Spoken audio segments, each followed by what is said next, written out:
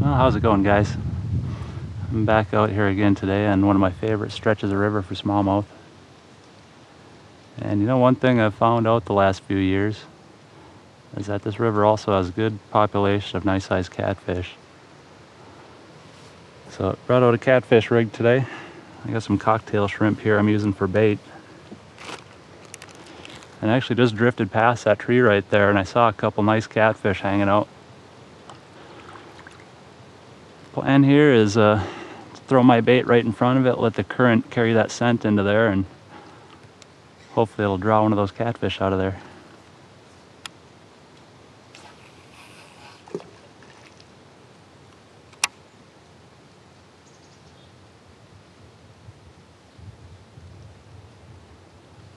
All right, let's see what happens.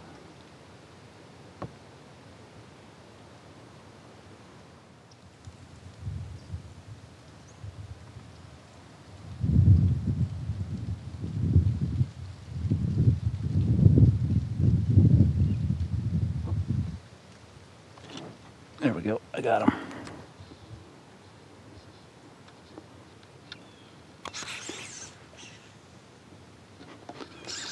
Want to get a little distance between him and that tree there. Yeah, he's going away from it anyway. Feels like a good fish. Definitely putting some bend in the rod.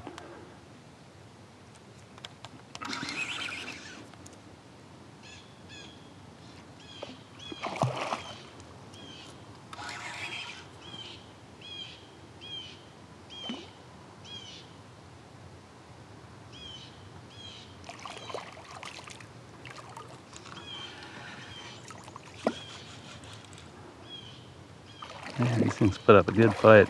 It's really not even all that big, but he sure is biting.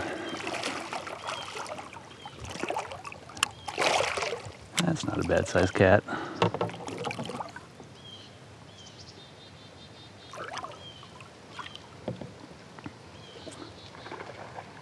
First things first, let's get that hook out of you.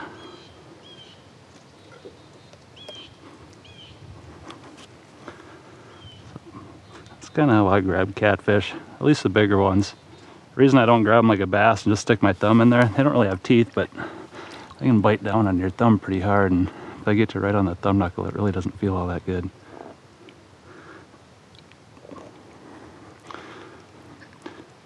And yeah, about this size or smaller, I just put my thumb underneath one of those spines, and the other one between my middle and my pointer finger there. Pretty good way to hold them too.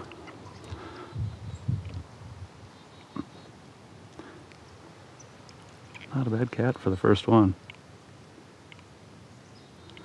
I think I'll get some bigger ones than that though.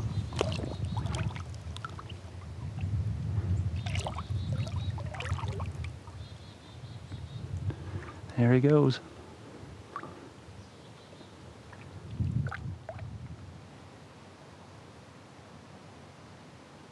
I've had my line in for about 15 minutes since that last fish without a bite, so I'm gonna pull it in and go find another spot to try.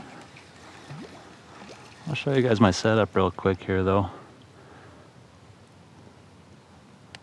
I really don't have a catfish rod at the moment, so I'm using my bait cast combo here that I'd usually use for topwater frog fishing for largemouth.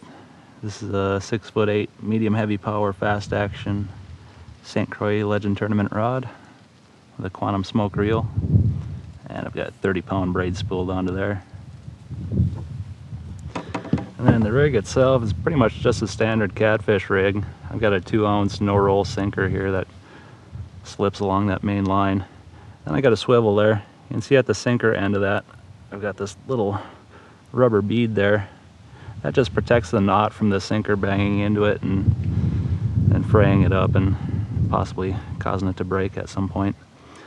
And then I got oh, probably about a foot of leader on the other side of the swivel there. Um, we got 20 pound mono for the leader. Um, one thing you want to make sure of when you set up a rig like this, you always want that leader to be weaker than your main line. That way if you do end up snagging up on something and you have to snap it, it'll usually snap somewhere along the mono there and you'll keep everything but your, your hook. So keep your sinker and your, your swivel and all that. And I just got a 4-aught octopus hook. Now if I was fishing from the bank with my rod sitting in a rod holder, I'd, I'd definitely use a circle hook, but um, today I'm kind of watching the rod tip or actually feeling for the bite, so I'm getting a good quick hook set on them. That first fish was hooked right in the corner of the mouth, so I think we'll be all right with that hook. And then, like I said earlier for bait, I'm using cocktail shrimp. I always had good luck with that out on the Red River my hometown of Fargo. I did a lot of catfishing back before I got my kayak, so it should be fun today if we can hook into a few more. But I'm gonna paddle on to the next spot. Let's see if we can find a few more fish. Now, this looks like a good spot to try. Let's see if there's anything hanging out in there.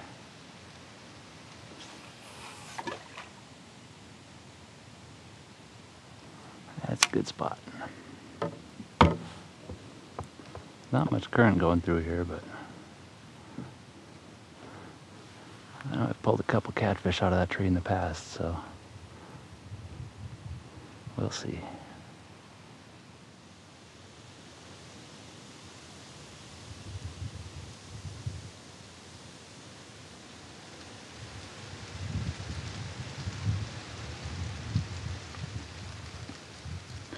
There's definitely something nibbling on it down there. I think it's just some little bass or something though.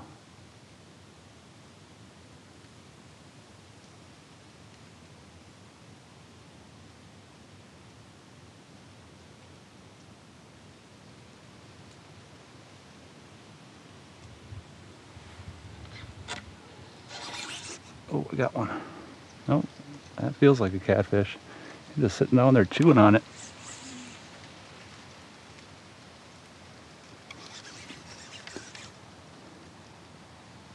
A couple little taps there, but I lifted up on it and there's something there.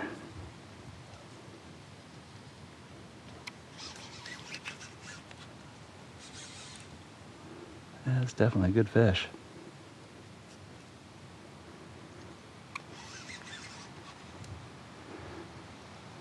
Here, I thought I had a couple little smallies nibbling on it down there.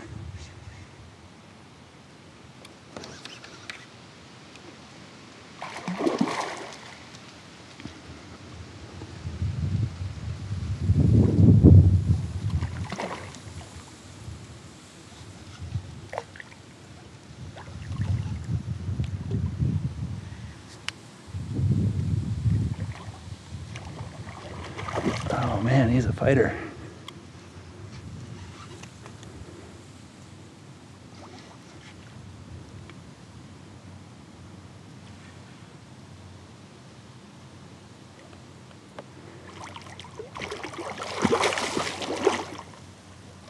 Yeah, I'd say the shrimp seems to be doing the trick out here on this river too.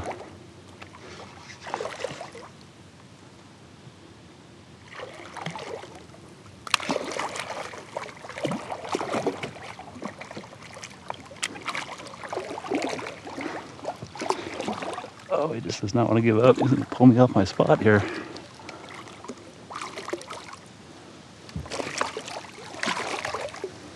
Come here, you.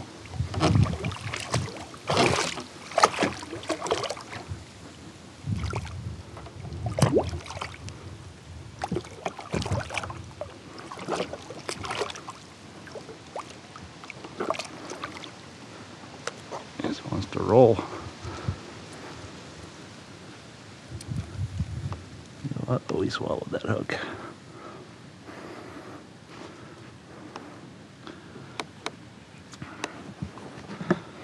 Going through the gill here. See if I can get that out of there.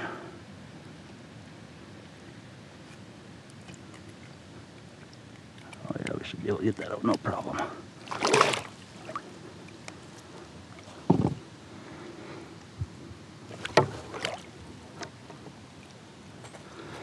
Ew, hook is out.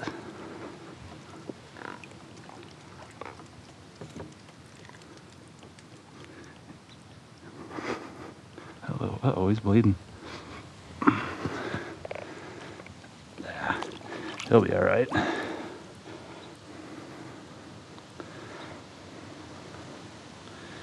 Yep, I let that one chew on it just a little bit too long. He was biting it kind of weird though.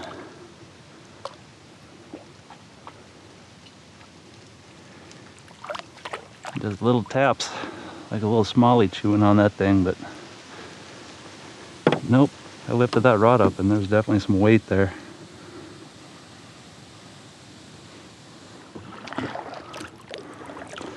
Well, I've done snagged a snapping turtle with my catfish rig.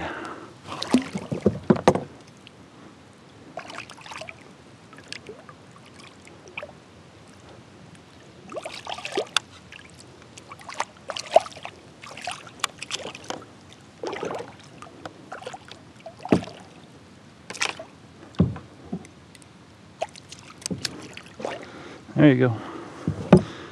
You're free. Maybe that's why I wasn't getting any bites over there.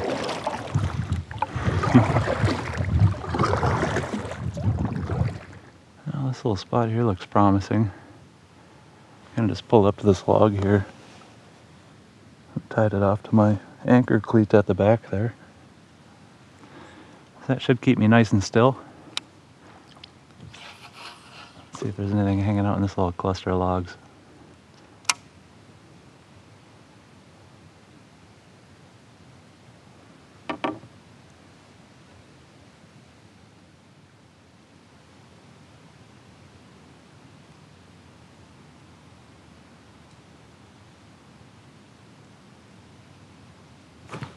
There we go, I got him.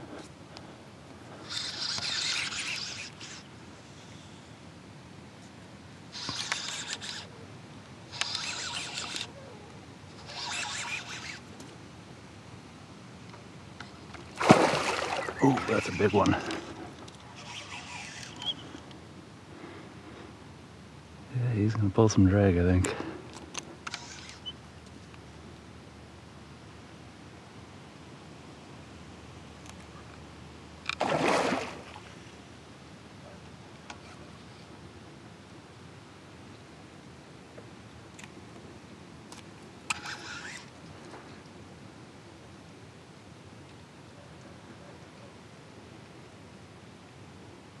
Yeah, that's definitely a good sized fish. I can't even hardly lift him.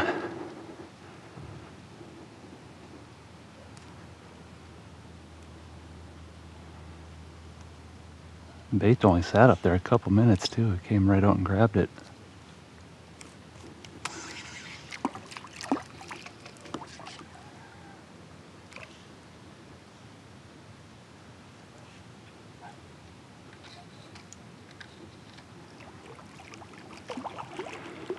That's not a bad cat. I figured he was gonna be a little bigger than that. Man, he's a fighter. Wow.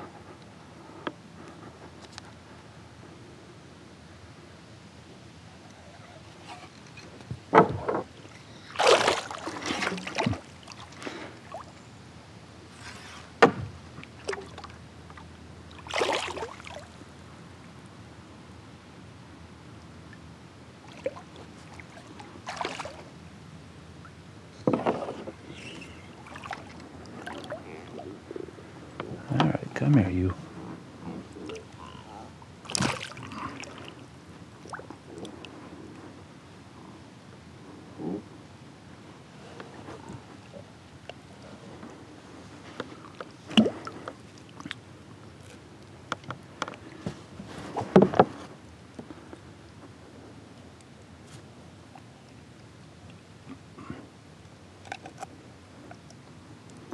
Let's get that hook out of you. He's just chewing on my hand there.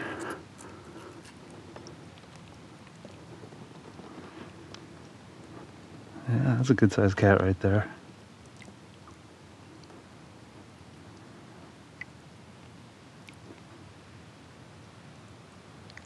Man, those things are fun to catch. Probably the hardest fighting fish in this river, I bet.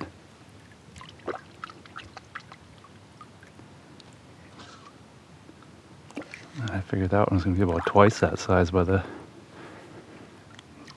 the fight he put up there. Man, he was pulling hard.